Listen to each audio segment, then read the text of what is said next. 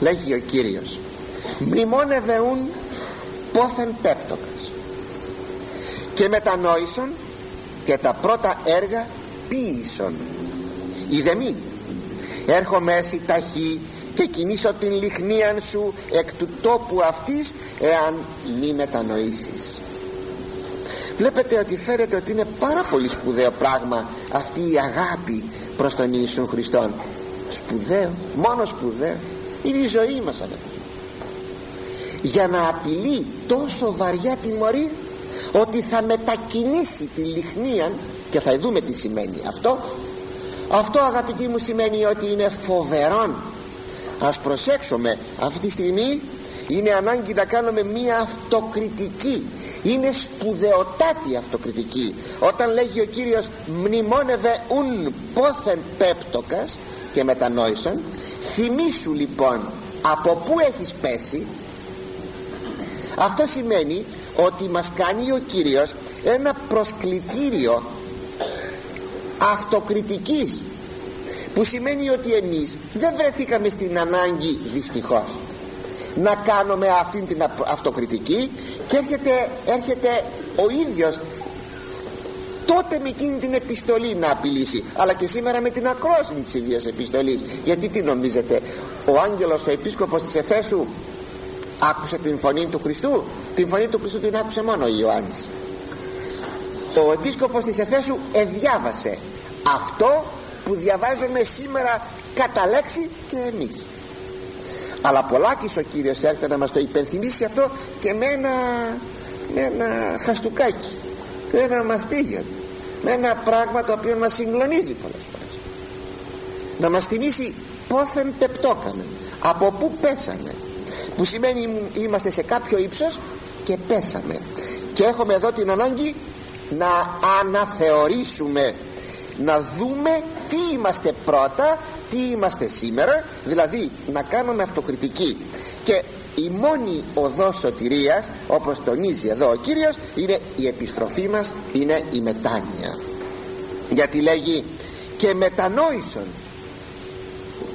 απόδειξης δε της μετανοίας είναι η επαναφορά μας στα πρώτα έργα. Και λέγει και μετανόησον και τα πρώτα έργα ποίησον να κάνεις τα πρώτα έργα. Αυτά που κάνεις και πρώτα αυτή η κατάσταση της πτώσεως πρέπει να σας πω ότι εάν χρονίσει είναι πάρα πολύ επικίνδυνη διότι επέρχεται μια πνευματική αναισθησία από την οποία αναλόγως του βαθμού της δύσκολα συνέρχεται ο άνθρωπος. Εδώ θα σας έλεγα κάτι. Ερωτώ τον εαυτό μου. Όταν τα έγραφα όταν τα διάβαζα και τώρα που σας το λέγω που σας τα λέγω αυτά. Έχω πνευματική αναισθησία. Δεν μπορούμε εύκολα να το δούμε αυτό. Όπως σαν να λέμε σε έναν που έχει ε, του κάναμε μια τοπική ένεση για να του κάνουμε μια επέμβαση χειρουργική. Και τον τζιμπάμε εκεί και τον τζιγκλάμε και του λέμε έχει αίσθηση και μας λέει όχι μα αφού είναι ανέστητο κύριο το μέρος μα επιφέραμε εμείς την αναισθησία αυτή για να κάνουμε την εγχείρηση. Δεν καταλαβαίνει τίποτα. Ε, πως μπορώ εγώ να ξέρω αν έχω αναισθησία; Αν διαβάσετε ένα λόγο του Αγίου Ιωάννου της Κλίμακος που ομιλεί περί της αναισθησίας θα τρομάξετε αγαπητοί μου. Σας το λέγω συλλήβδιν αυτή τη στιγμή όλοι μας όλοι μας είμεθα σε μια κατάσταση ποικίλου βαθμού όλοι μας όμως σε μια κατάσταση πνευματικής αναισθησίας. Λυπούμε που το λέω είναι αλήθεια όμως και τότε έρχεται η τιμωρία. Η δεμή έρχομαι σι ταχύ έρχομαι σε σένα γρήγορα διαφορετικά. Και κινήσω την λιχνία σου εκ του τόπου αυτής. Ενθυμίστε ότι εκείνες οι επτά λιχνίες σε κάποια τοποθέτηση ήσαν και κινείτο ο Ιησούς ο δεδοξασμένος ο πέραν της ιστορίας Ιησούς ο, ο ιστορικός και ταυτοχρόνως ο υπεριστορικός Ιησούς κινείται μεταξύ των λιχνιών υποθέσατε ότι οι λιχνίες είναι σας έλεγα κυροπήγια με λαμπάδες και καίουν. Και κινείται ανάμεσα σε αυτές ο Κύριος όταν λέει κινήσω θα πει θα πάρω το κυροπήγιον και θα το πάω πιο πέρα αυτό θα πει θα μετακινήσω την λιχνία σου τι σημαίνει όμως μετακίνησης της λιχνίας σημαίνει όπως λέγει ο Άγιος Ανδρέας Κρήτης η της Θείας Χάριτος γύμνωσης με το να απογυμνοθείς από τη χάρη του Θεού. Δεν ξέρω αγαπητοί μου αν έχω απογυμνοθεί από τη χάρη του Θεού. Το βλέπουν οι άλλοι άνθρωποι αυτό. Ο ίδιος άνθρωπος εύκολα δεν μπορεί κάποτε να το δει. Δεν μπορεί. Κάποτε μπορεί να το δει κάποτε όχι. Αλλά τι θα πει απογυμνώνομαι από τη χάρη του Θεού είναι φοβερό. Φοβερό. Να μην το δώσει ποτέ ο Θεός. Αν έχετε δει άλλους ανθρώπους κληρικούς και λαϊκούς να απογυμνώνονται από την χάρη του Θεού. Ο Θεός να έρει τη χάρη του να μην την έχει πια τη χάρη του στον άνθρωπο αυτόν. Και να βλέπετε ο άνθρωπος αυτός να κινείται χωρίς χάρη Θεού. Να σας κάνω την περιγραφή. Πως να την κάνω την περιγραφή. Αδυνατό. Ένα μόνο σας λέγω. Ότι είναι μια πια κατάσταση πολλών πολλών δακρύων αξία. Και συνεχίζει ο Άγιος Ανδρέας Κρήτης και λέγει διήσαν σάλο και κλείδωνη υπό τον της πονηρίας πνευμάτων και των υπουργούντων αυτής πονηρών ανθρώπων καθίσταται. Όταν φύγει χάρη του Θεού απογυμνοθεί ο άνθρωπος από τη χάρη του Θεού τότε ισορμούν οι δαίμονες και τα όργανά των οι πονηροί άνθρωποι και τότε δημιουργούν μία αλλοπρόσαλη κατάσταση μέσα εις αυτόν τον άνθρωπο ή στο σύνολο ανθρώπων. Στην εποχή μας έχουμε βεβαίως έχουμε σπουδαίους ανθρώπους και κληρικούς και λαϊκούς πολύ σπουδαίους ανθρώπους αληθινά Αγίους έχουμε ανθρώπους. Έχουμε όμως και καταστάσεις λαϊκών και κληρικών που να είναι πολλών δακρύων και θρήνων άξιες και να αποτελούν ομάδες οι άνθρωποι αυτοί. Και να λέει κανείς τι γίνεται σε αυτούς τους ανθρώπους; Μπαίνουν οι δαίμονες και οι πονήροι άνθρωποι και χορεύουν. Χορεύουν πραγματικά. Το να βλέπεις τους δαίμονες να χορεύουν μέσα στη ζωή ανθρώπων που απεγυμνώθησαν από την χάρη του Θεού. Αγαπητοί αυτά σας τα λέγω πρώτα στον εαυτό μου τα λέω μετά σε εσάς. σας τα λέγω για να επισημαίνουμε μη φτάσουμε εις αυτό το κατάντημα γιατί πρόκειται περί καταντήματος. Αλλά ακόμη μετακίνησης της λιχνίας όσον τουλάχιστον ιστορικός απεδείχθη είναι η εξαφάνισης της τοπικής εκκλησίας όπως συνέβη δυστυχώς ύστερα από 1900 χρόνια αγαπητοί μου συνέβη δυστυχώς στα επτά αυτάς ιστορικάς εκκλησίας της Μικράς Ασίας να ξεριζωθούν οριστικά έως τερμάτων τέρματος αιώνος παρόντος αιώνος οριστικά από το χώρο το δικό τους. Το 1922 όταν αυτές οι επτά της Μικρασίας εκκλησίες εξαφανίστηκαν πλέον και δεν υπάρχουν. Πού είναι η εκκλησία της, Ρώμη, της Σμύρνης; Πού είναι η εκκλησία της Εφέσου Των Θιατήρων; Πού είναι αυτές οι ωραίες εκκλησίες που ανθούσαν τότε που ιδρύθησαν; Δεν υπάρχει καμία. Αυτό το, αυτή η απειλή πρόσεξε αλλιώτικα θα σου μετακινήσω την λίχνια ήδη μετακινήθη εξάλλου αυτά όλα που λέει εδώ ο Κύριος κινούνται μέσα σε όλων των χρόνων της Εκκλησίας. Και ο χρόνος της Εκκλησίας είναι ο μεταξύ. Να το θυμόσαστε αυτό παρακαλώ. Ο χρόνος της Εκκλησίας. Ο μεταξύ των δύο παρουσιών του Χριστού. Της πρώτης και της δευτέρας παρουσίας. Αυτός ο χρόνος της Εκκλησίας είναι τα χίλια χρόνια της Αποκαλύψεως. Η χιλιετής βασιλεία του Χριστού. Είναι ο χρόνος ξαναλέω ο μεταξύ των δύο των δύο παρουσιών του Χριστού. Γιατί χίλια με την ευκαιρία θα αργήσουμε να φτάσουμε εκεί του χρόνου. Α ζήσω δεν ξέρω. Διότι ο αριθμός χίλια είναι, είναι ε, αριθμός που δεν θέλει να δώσει ακριβή πληροφορία επειδή η Δευτέρα του Χριστού παρουσία είναι μυστική. Δεν ξέρουμε πότε θα έρθει ο Χριστός.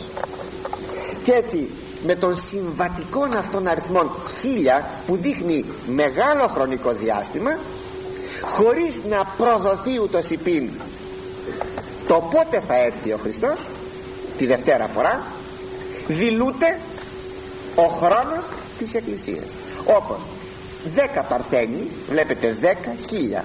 Βλέπετε το 10 10 χίλια. 10 παρθένοι επέντε μωρέ επέντε φρόνιμοι.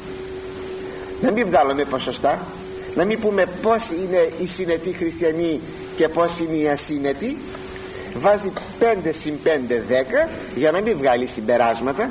Να μην πεις ε, άραγε να είναι τόσοι τόσο της εκατό. 70% 80% 10% πως σου λέει 5 και 5 ίσον 10 για να μην βγάζεις συμπεράσματα. Είναι συμβατική αριθμή.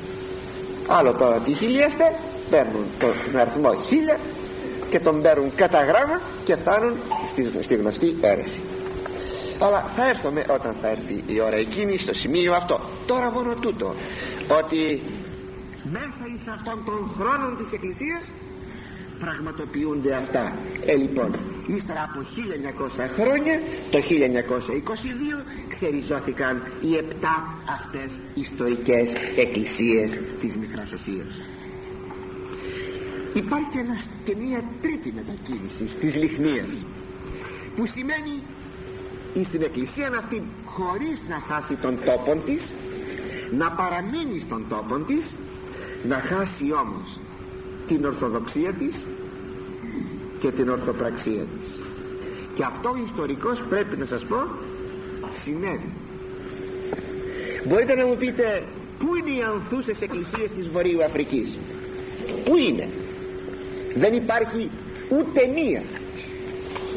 Οι ανθούσες εκκλησίες της Βορείου Αφρικής χάρη των οποίων έγραψε ο, ο Μάρκος το Ευαγγέλιόν του ο Απόστολος Πέτρος. Για του Μάρκου το Ευαγγέλιόν του.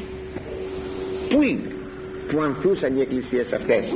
Ήρθε η λέλαπα του μουαμεθανισμού με τις ορδές των Αράβων εσαρώθησαν οι εκκλησίες αυτές.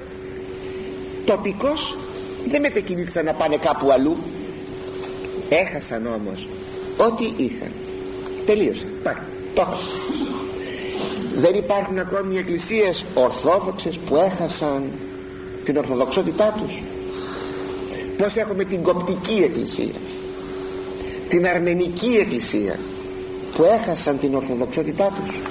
Και στη Δύση η εκκλησία τι έχει; Οι προτεστάντες τι η Ρώμη τι είναι; Το να χάνεις στον τόπο σου να βρίσκεσαι και να χάνεις την ορθοδοξότητά σου και την ορθοπραξία σου αυτό νομίζω είναι από τις τρεις μετακινήσεις της λιχνίας που σας ανέφερα νομίζω ότι είναι η χειροτέρα μετακίνησης.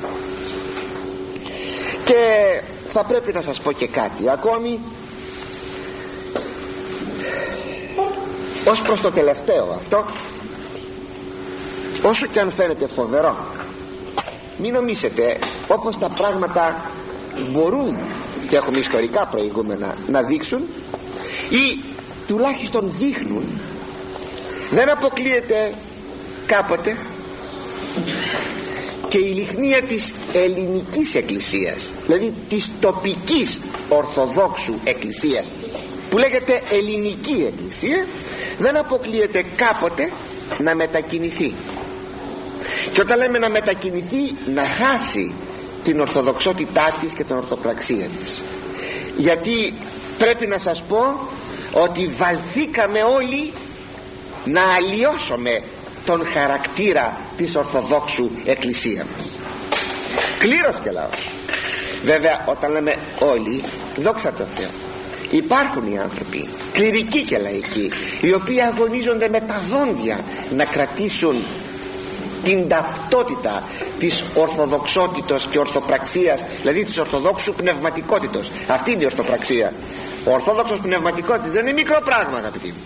Όταν ο άλλος λέει και τι είναι η νηστεία και μάλιστα την καταργεί και επισήμως σημαίνει αλλίωση αλλίωση της ορθοδόξου πνευματικότητος. Δεν είναι καθόλου μικρά σημασία σε αυτό. Φοβούμε λοιπόν όπως βαλθήκαμε να αλλοιώσουμε το ορθόδοξο πνεύμα φρόνημα, πίστη, δόξαν και το ορθόδοξο βίωμα φοβάμαι μήπως κάποτε έλθουν από την κεντρική Αφρική μαύροι να κηρύξουν ως ιεραπόστολοι ορθόδοξοι στην Ελλάδα την Ορθοδοξία. Το φοβούμε πάρα πολύ. Εκείνο που είπε ο Θεός συγγνώμη ο, Ευαγγελ... ο Άγιος Ιωάννης ο βαπτιστής στους Εβραίους. Ο Θεός είναι δυνατός από τις πέτρες να εγείρει παιδιά.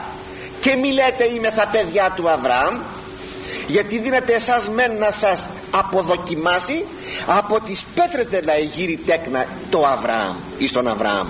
Δηλαδή με άλλα λόγια μην καυχόμεθα και λέμε εμείς που το Ευαγγέλιο γράφτηκε ελληνικά που εδώ κήρυξαν οι Απόστολοι που εδώ τούτο εδώ εκείνο ιδρύθηκαν σπουδαίες εκκλησίες. Οι όλες οι εκκλησίες που ιδρύθηκαν ελληνικές ήσαν της Μικράς Ασίας της Υπηρετικής Ελλάδος και λοιπά ελληνικές πόλεις Αντιόχεια, Έφεσος, Μύρνη, Θεσσαλονίκη, Κόρινθος.